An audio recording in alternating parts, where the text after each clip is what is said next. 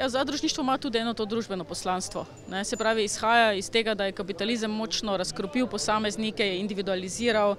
potrošništvo nas sili, da pač iščemo vedno rešitve v produktih, ki jih lahko kupimo, namesto v stikih z ljudmi. Hkrati nas kapitalistični sistem sili v parcialno delo, v individualno delo, kjer potem se vsi nekako poskušamo čim bolj angažirati za neko lastno dobrobit, medtem ko zadruge so prav nasprotno, zadruge so skupine oseb. Se pravi, kjer ljudje prepoznajo, da imajo kot skupina neko skupno potrebo,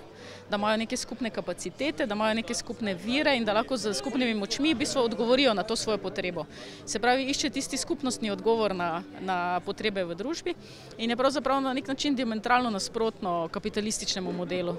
Zdaj lahko bi rekli, da je to neka alternativa, ki živi znotraj kapitalizma, zato ker običajno se v zadružništvo nekako spustijo ljudje, ki se čutijo nezadovoljni s kapitalističnim modelom, ljudje, ki jih bega to in hkrati, ki imajo nekako osebno čutijo eno poslanstvo, da je treba na družbi delati, da je treba družbo spreminjati, da je treba biti aktiven član pri spreminjanju družbe in družbo lahko spreminjamo poleg drugih mehanizmov tudi skozi spreminjanje